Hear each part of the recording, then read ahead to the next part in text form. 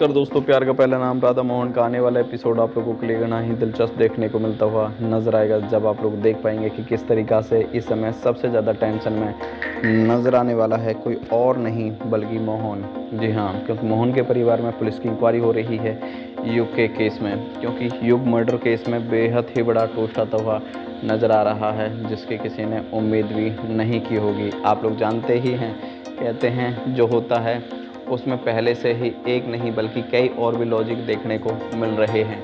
आप लोगों को बता देना चाहता हूँ कि यहाँ पर पुलिस ने ये भी बोला है कि लास्ट टाइम मोहन को देखा गया था युग के साथ में। अब मोहन ही बताएगा कि आखिरकार युग कहाँ पर है, क्योंकि मोहन अगर सच सच बता दे तो ठीक ही रहेगा, अगर सच नहीं बताया गया तो कहीं ना कहीं मोहन के लिए परेशानी का सबक होता हुआ नज़र आ रहा है। आप लोग जानते ही हैं कि इस समय कहानी का एक और भी बेहतरीन टूस्ट दस्तक देता हुआ नज़र आएगा। जी हाँ क्योंकि यहाँ पर साफ़ साफ़ राधा भी बोलती हुई नज़र आ रही कि हमारा कोई भी लेन देन नहीं है।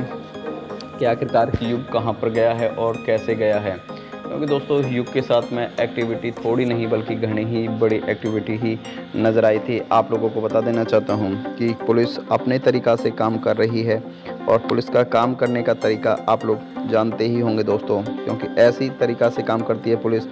पुलिस ने बहुत पहले ही बोल दिया था कि हमारे काम करने का तरीका तुम लोगों को पसंद नहीं आएगा, या तो खुद ही बता दो, अगर हम अपनी सिपाही तो तुम आगे आगे बक्कारोगे कि आपने क्या क्या है। जी हाँ दोस्तों, आप लोग जानते ही हैं कि मोहन सबसे ज़्यादा टेंशन में नज़र आ रहा है कि सच बताए या बात को छुपाए, क्योंकि कहानी के अंदर बेहद ही बड़ा मुकाबला देखने को मिलता हुआ नज़र आ रहा है।